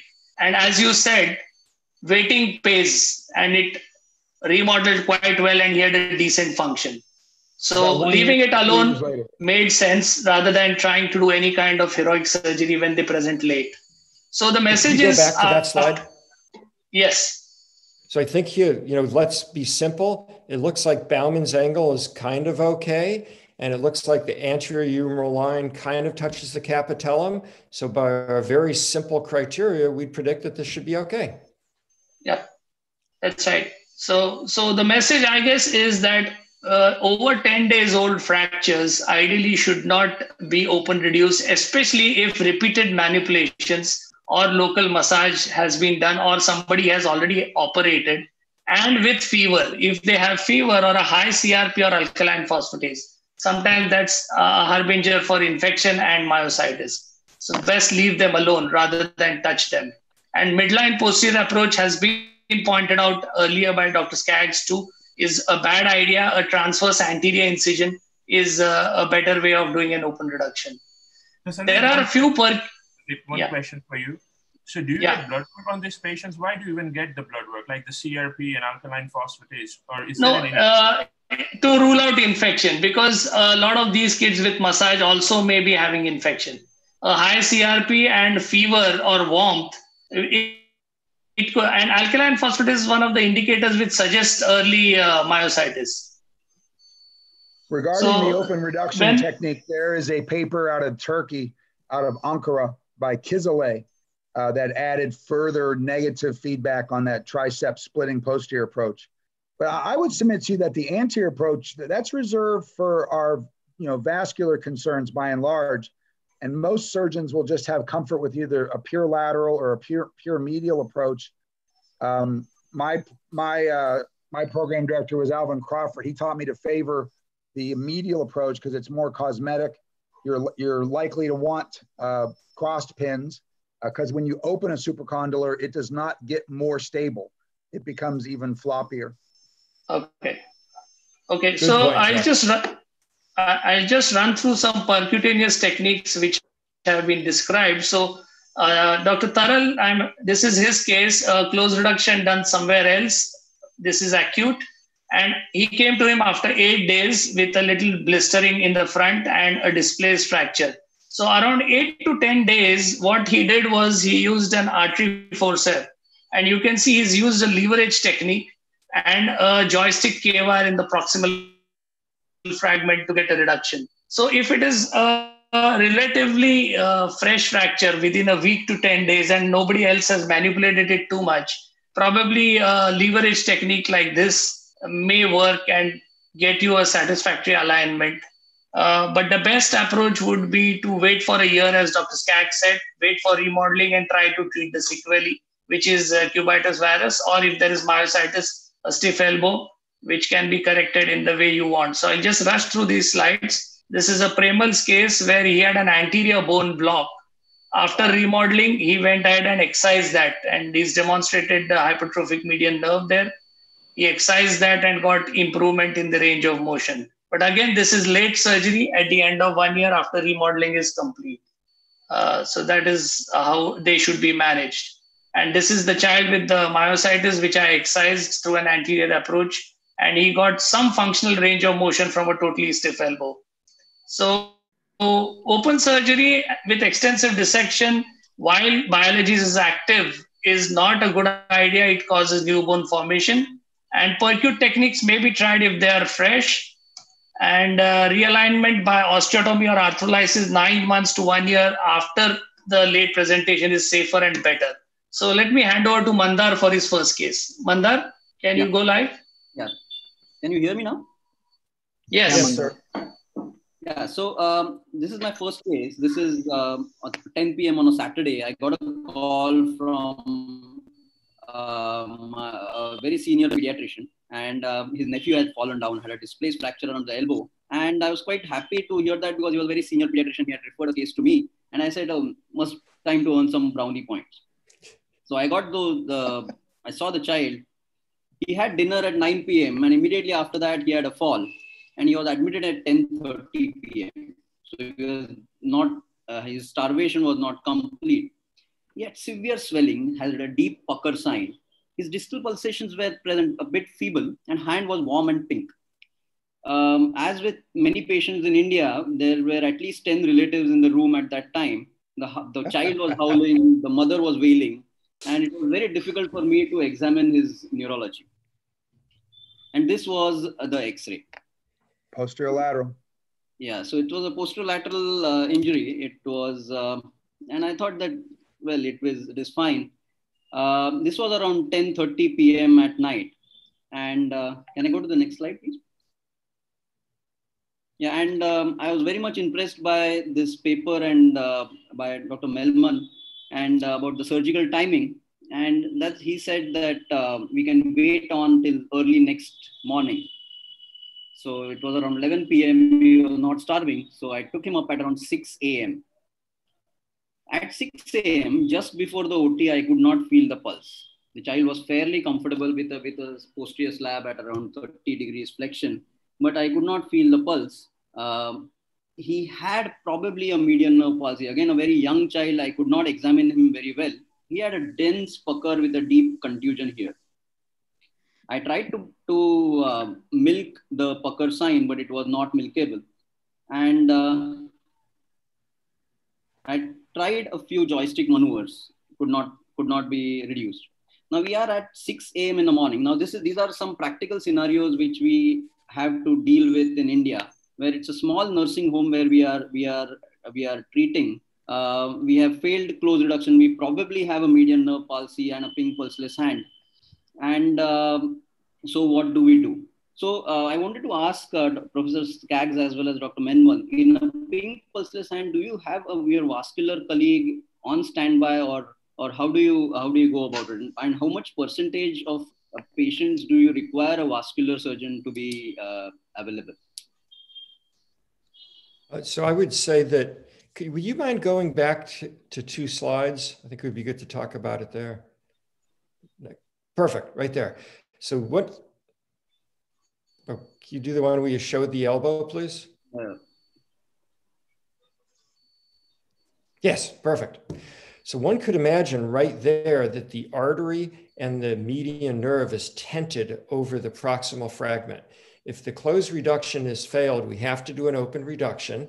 I personally like doing the transverse incision because it heals so wonderfully with such a great scar, but more importantly, it gets you right to what you need to see. Um, and I would propose that if you do that and then get the artery and nerve out of the way and do your reduction, the great majority of the time you do not need a vascular surgeon there. Because most of the time, simply getting the artery out of the way and flexing up the elbow should return uh, the pulse and should return good vascularity.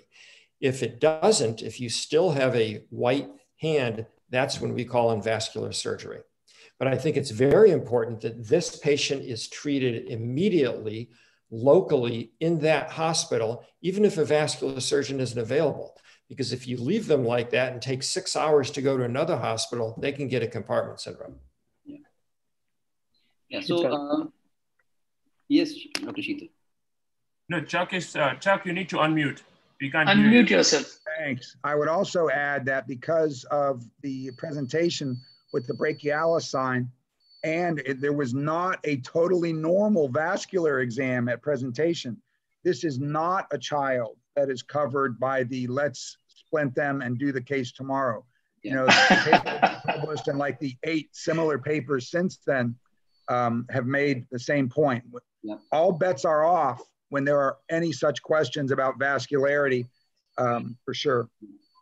So, so two points, Mandar. I'll just make two quick points here. One is that you know I would not be concerned about the NPO status of a patient. That should not get be get in the way of your decision making for a for a pulseless supracondylar with a pucker. And okay. the second thing is, if you read that paper, a lot of those patients were reduced, just pulled upon. The elbow was pulled in the ED, so that you don't end up with significant deformity sitting overnight. So if you have a pulseless with a deformity, you can pull in the ED and relax it like you know, uh, like Chuck's paper did, and uh, you know, Skaggs had mentioned that in the in the uh, in the beginning, like you can just pull on it. So I would not sit on a pulseless just because he had just eaten. You know, yeah. Uh, I would I would consider that to Sheetal, could I make a point? I think what you said is so right and so important. So even if there's just a pucker sign, that means we should be doing that soon. We don't care about the NPO status. Very important point. So, okay, Amanda? Uh, yeah, I did an open reduction anteriorly. I took a transverse incision and extended it sl slightly upwards medially. Uh, thankfully, the as uh, uh Dr. Skaggs said, the, the, the pucker was right there and the proximal spike was right there. And I could get a good reduction. Can I go to the next slide, please? yeah, I could get a good reduction and uh, next and fixed it in a standard manner. This was the incision. Can I go, go ahead? So I added a third pin just for this See, So I just analyzed this fracture just just uh, because I so yeah. So should I have anticipated it? And so if I analyze the fracture, can I go ahead? Yeah. So so I could see that the spike of the medial fragment was extremely sharp. And there is a very nice paper uh, coming from Singapore, I think, next, next slide, uh, by Lim et al., which showed the, showed the importance of the medial spike, where they said that if the medial spike angle is less than 45 degrees, uh, or if like this, or if the tip skin distance is less than about six millimeters, then you have to be very careful and and anticipate that you may have some problems intraoperatively. Next.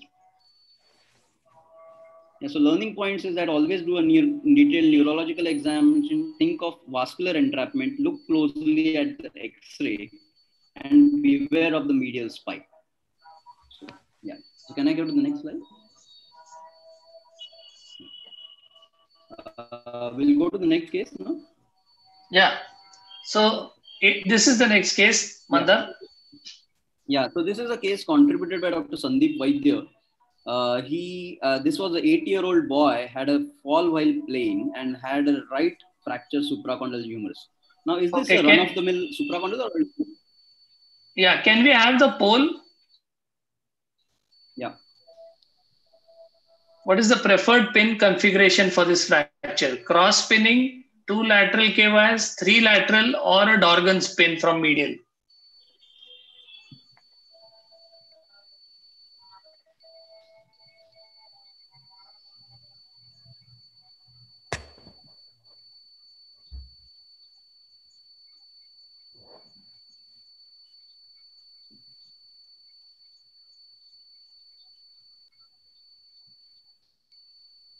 Right. So Three lateral KYs is overwhelming favorite, 58%. Cross pinning, 28%.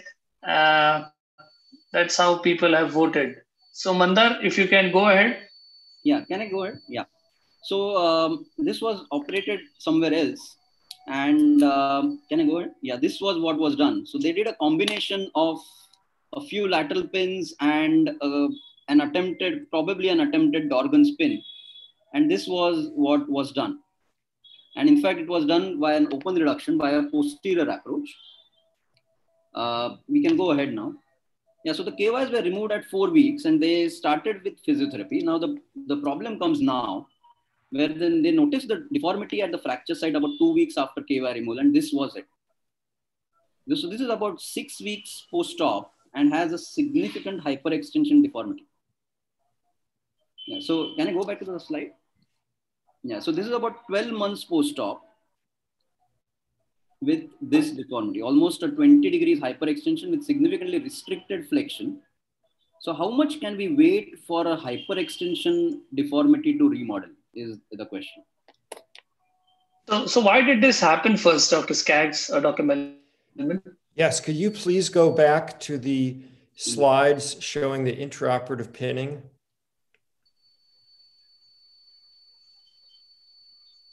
Can you see them? Yes. So I'm not convinced that all of those pins are getting two cortices. I, I think that this is a failure of correct pinning. I, um, I'm not able to draw on the screen, but it looks to me like that horizontal pin probably does not have cortex above and below the fracture site. And then the upper lateral pin looks like it's not capturing enough of the distal fragment. So I think that I, this is not, not good pinning and it fell into more extension. I think the teaching point, we've seen a couple of these cases now where on some static image, the surgeon convinced themselves that they were happy. And that's, as David said earlier, I, I like the, the choice of words. If it's going to fall apart, you want it to fall apart in front of you in the OR or sleep where you can fix it. So live C-arm flexion extension, maybe an internal rotation stress test as the Vanderbilt group has written about in JPO. Yeah, Chuck, you're right. If that x-ray was stressed intraoperatively, I bet you it would have been noted that it fell apart and there was motion then. So the next question is, this is about 12 months post-op. He has significantly yeah. restricted flexion. And yeah, it's a year out. Do the osteotomy now.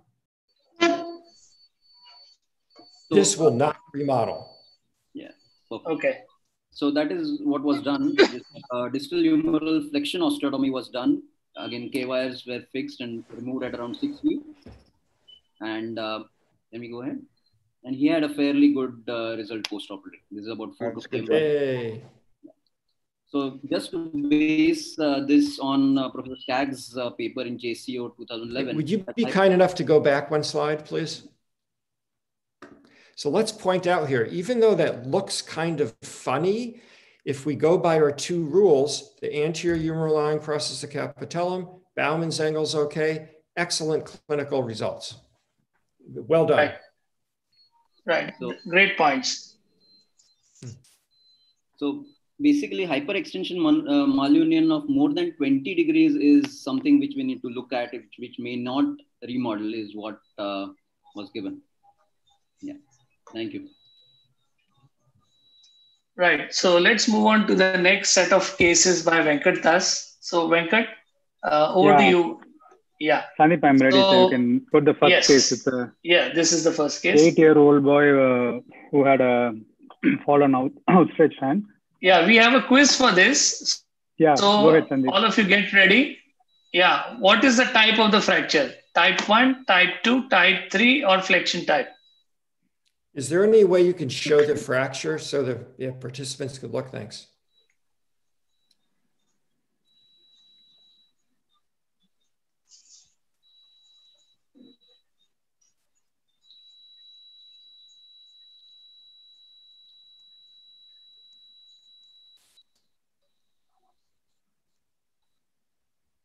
Right. So all I can say is 19% people are asleep. 18%. Okay, go ahead, uh, Sandeep. so this is a flexion type of uh, supracondylar humerus fracture. We, uh, Dr. Skaggs has represented that about 2% of uh, supracondylar humerus could be flexion type. It's more common in older kids, and uh, the more important point is uh, sometimes they might require open reduction, and you need to counsel the parents beforehand that you might have to uh, open the fracture site to get a good reduction. So next slide. So this was the intraoperative uh, C-arm picture. That's the AP view, and that's the lateral view. I was attempting a closed reduction for this uh, particular uh, patient, and uh, this we could see that the proximal fragment is completely uh, rotated. So I placed a, a derotation wire in the proximal fragment, and uh, go ahead, Sandeep.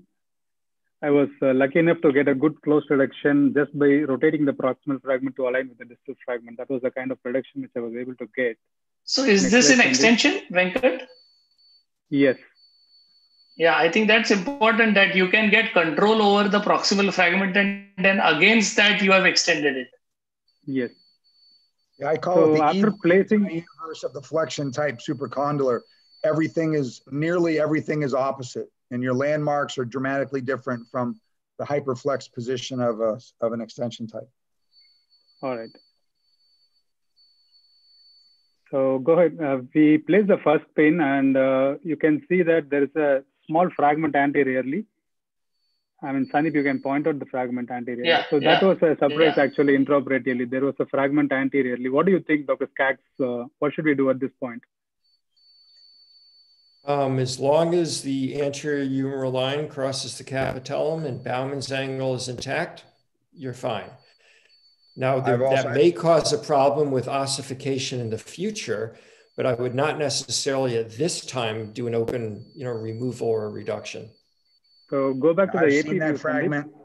I've made that fragment. I've watched it completely resorb over time. Okay, but that was a medial, actually, it is a medial epicondyle fragment in this patient. Go back. Oh. uh, Go forward, Sandeep. Next slide, next slide. Go back.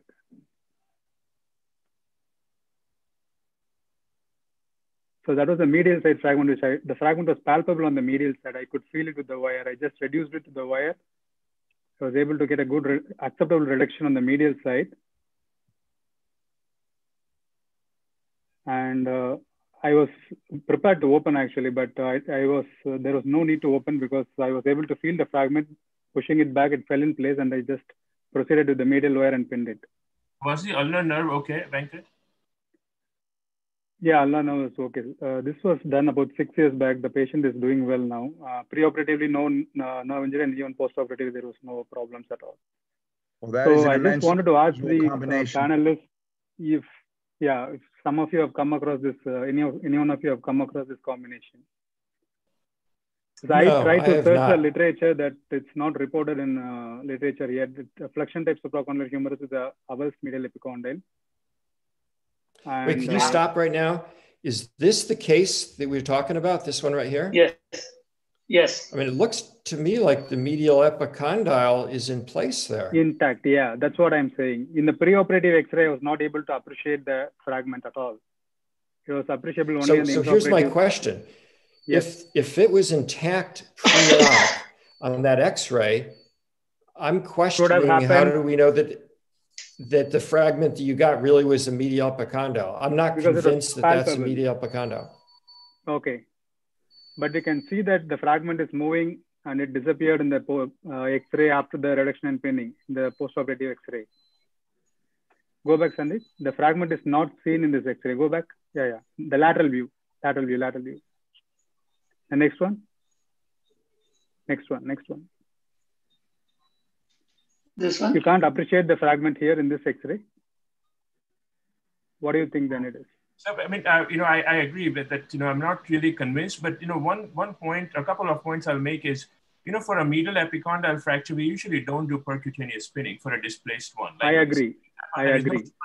and it's a medial epicondyle because you'll be concerned, you don't know where the nerve is, you know, so I would I would be hesitant. Like if you think intra-op that there was medial epicondyle, I will open up a little bit medially and make sure that the nerve is not there. Okay, so that's my first point. And the right. second is the reduction maneuver. I see that your elbow is in extension, which is how it will reduce. But we are all very familiar with pinning and flexion. So one way to do it is to put a lot of bumps underneath the arm, and you can still flex it at 90 degrees and push it down. That would reduce the, uh, the flexion part of the fracture, but you're able to pin it while the elbow is in 90 degrees flexion. And that's a that's a technique that was uh, that has been reported. I think it was in JPOB or something. Just it makes it a little bit easier to flex it put a lot of bump underneath the underneath your arm. You know, if you see right here, and you push Yeah. it down in 90 degrees, so it would extend your uh, your fragment, distal fragment, and you'll be able to get reduced and still pin it in flexion. Agreed. Okay. Okay, can we let's to go to next next case. Yeah. Yeah. Go ahead, Sandeep. So this is a slightly older child, a 13-year-old boy who had a fall while playing uh, cricket, and uh, he presented with the fracture of the left elbow. Go ahead, Sandeep. Next, next. So this was the kind of deformity, uh, and that's the X-ray. Uh, Dr. Mehlman, go back to the X-ray, Sandeep. What would you do for this? It's a 13-year-old course. boy.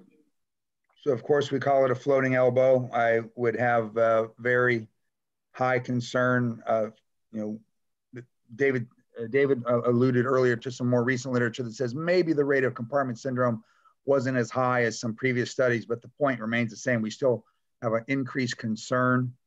And so I would lean towards reducing and stably fixing the uh, elbow fracture first. And then almost certainly I would also reduce and pin the distal radius. So what this would your choice of case- implant? yeah, choice of fixation because it's slightly higher technique. fracture and you have a comminuted fracture. And uh, May I make a suggestion? I don't know what's going on here. It looks comminuted. My next step would be to get a CT scan Yeah, with three dimensional reconstructions.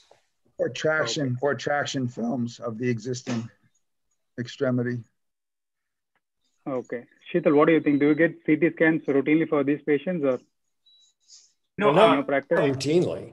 if I, uh, yeah, if I think there is an intra-articular uh, extension, then I would, you know, get a CT scan because that's going to change my approach. I think getting traction views and having, you know, some um, decision making would be intra-op, like, you know, uh, how the fracture falls in place once you give traction might just, you know, tell me like how am I going to treat it, whether I'm going to be, you know, just doing K wires or whether I, I would open it and uh, put something across it to buttress that fragment.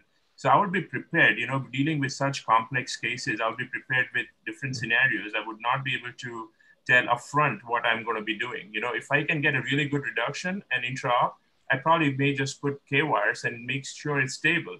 But if I if I'm not, I'll be I'll just go ahead with more fixation. I'll open it and I'll fix it. So and same, I mean the, Yeah, the you- distal radius obviously needs pinning as well. The distal radius. If you have, um, if you have stable entry points distally, our French colleagues would consider Nancy nailing.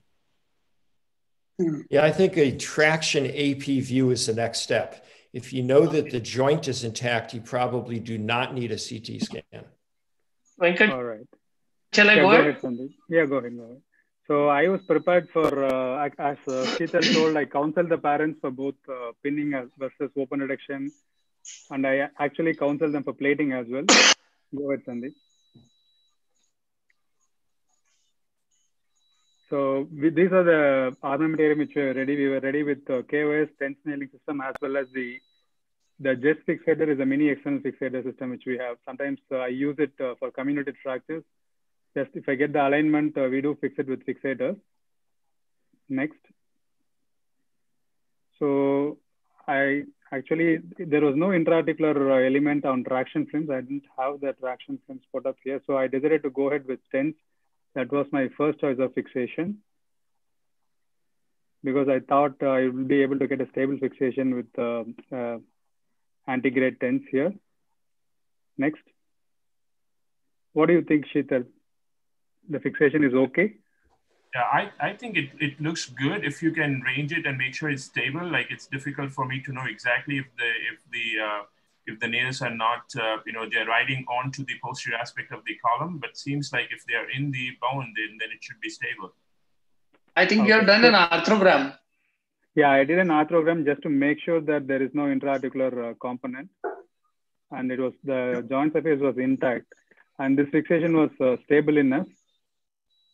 As Sheetal pointed out, we ranged the joint and saw that the uh, fixation was uh, the fracture was not falling apart, and even on varus stress it was not collapsing because the varus fragment, medial fragment, I was worried about whether it's going to cause problems. Yeah. It was quite stable, so I was happy with the fixation proceeded with the distal radius uh, pinning with a single K wire. Go ahead, Sandeep. Yeah. I I think Jean, a... I think Jean-Paul Métaizeau and Pierre Lascombes would be pleased. yeah. So a couple of points I'll make. Uh, you know, we see some high supracondylar fractures, not so comminuted, but high supracondylar fractures are common uh, compared to your comminuted fractures. So, you know, uh, if you try to just put lateral pins, you are going to end up, the pins are going to be intramedullary a lot of times, you know, in these high supracondylar fractures. And if they are intramedullary, they are going to push your fragment medially. That means it will cause wear. So if you put a lateral pin that goes just intramedullary because of the high supracondylar fracture position, it is going to shift your fragment into varus. So I've seen that before. So one tip for to avoid that, if you're going to be doing pinning, is for this fracture, I would put a medial pin to cross it. And that, and that has been reported for high supracondylar fractures to prevent that varus, you may want to add a medial pin to it especially if your lateral pin is going intramedullary. I don't know, you know, Precisely. what, what Dave, Dave and Chuck's experience has been, but I'll just get their views as well. Sheetal, do you think you'll be able to secure it in the pins because the fracture line is running high up, very high? No, up, not right? in this fracture. See, this fracture is a combination as well. So not, okay. I think what you did was great. I'm just talking about the typical high supracondyls, which are not comminuted. All right. Yeah, I would make the okay. comment that one even could consider that this is not a supracondylar fracture. Yeah. It's not, you know, even really too close to the olecranon fossa. And I think Sheetal's points are correct. So when you have this, you know, distal diaphyseal fracture, that's the time you may want to consider a medial and lateral pin that end up being intramedullary. So you could, so this is intramedullary fixation, fantastic results, congratulations. And I think one can pass the pins from the top or from the bottom, the as long as they the bottom, involve yeah. both columns. Right. Yeah, this fracture deserves a name, right? It's not really the nor- it's certainly not a normal humeral shaft, and it's not even close to a normal supracondylar. You know, there's a similar near the metaphyseal diaphyseal junction of the distal tibia that is a troublesome fracture. Also, some call that one a Gillespie fracture, and so it, this one deserves its own name. I'm not sure what we should call it though. Okay. call it so I think yeah. Gartland six. Gartland six. Okay, so that was lovely. The case. Uh, so we had a large spectrum of cases, and we are honored that I can see Dr. Professor Kaye Wilkins on the panel. He's joined us. So I saw him raise a hand. So Dr. Wilkins, uh, can you unmute yourself and uh, put on your video and please make your comments? Well, no, I think they did an excellent job. Uh, you know, they're, worried about doing the Baumann's angle, and that's a little hard to measure. There is a good test that you could do, and that's the semilunar test on the lateral. In other words, there should always be a, a clear sign, a clear point between the capitellum and the uh, semilunar notch. And if there's cubitus varus, it's over uh, you know, it actually is imposed on the proximal ulna and you get kind of a moon shape in there. Uh, and then I, you know, I think this other thing that you talked about, the late reduction, you know, the classic article that I quote came out of India. You folks had, and there was an article about 15 years ago that if you did it late, then they had a very high instance of heterotopic bone. But other than that, I think you folks have just really done a super job of discussing this. And this is this diaphyseal metaphyseal fracture, I think is point because that is really difficult to do cross pins. And that's what I've done. I do it retrograde. And I, I don't worry about doing a medial pin, but when I do, you always make a little tiny incision, identify the medial epicondyle, and then you can do a medial pin. The only comments that I have, I think you really covered it. I don't got much else to say. You really covered it very, very well. Thank one you. Other thing, one other thing, Dr. Mehlman, is that if there's a high median nerve injury, that one you need to probably do right away. That's not one you do overnight. Because if they have um, high median nerve, they have an insensate um, compartment. So they can't tell you, they don't have the pain associated with it. I, I, I, had one case that was referred in that that's what happened. The kid had a high median nerve, didn't have any because he had an absence of the pain because his median nerve was out and he didn't have any sensation. So, I, and I Dr. Mehlman talks about that, and I think that's a good point. That if you have a high median nerve, you need to do an immediate reduction to make sure that patient comes back and watch them very closely. Yeah, we've kept some of those median nerve kids in the hospital for up to three days. Yeah. The, Great. So uh, we are. I think there's one other thing that we can learn. You know, we're giving you work countries that have great resources, and I think that some of the things we need to know, you guys ought to tell us. What do you do with a supracondylar fracture if you don't have the C on? How do you treat that? Mm-hmm. And of course, you talk about the uh, you t- you talk about the um, compartment syndrome. When late is it was it is it effective to do a fasciotomy? Because I know um, Dr. Uh, Rubrisha uh, talks about if you wait late, you don't need to do a fasciotomy because it doesn't do anything. And the question is, how late can you think that a fasciotomy is still beneficial? Because if it's been that way for two weeks, fasciotomy is not going to do any good. So, you know, I think there's, if you had to do this again, you need to give some of your people, um, us, because you you meet these problems. You know, uh, appearance, close reduction without C arms, and, um, and some of those things. But otherwise, I think you need to be congratulated on such a wonderful group of pictures. Thank you. Thank you. So, so uh, we've had an excellent two-hour session. Uh, we finished on time, 8.30, and uh, I would leave uh, this uh, stage to Taral to wind up and make the Thanksgiving as well as uh, last comments. Absolutely. So thank you everybody for a wonderful session. at the peak, we had more than 50 attendees joining this session. And we had one surprise delegate, which was Dr. K. Wilkins. He attended and uh, Dr. Wilkins, we want to tell you this, uh, this entire course emerged out of POSNA fracture courses, which we used to do together. 2009, 2010, we went to Bangladesh, Sri Lanka, and we wanted to continue. So it, it's all because of you that it's all happening. And uh, this is eight sessions happening, and we want all delegates to come back next Saturday, again, 6.15 join for a very interesting session on other elbow injuries, the lateral condyles, the uh, trash lesions, the morphagias. And we are not going to keep, uh, you know, we have a telegram group. So post your questions. We are there to answer.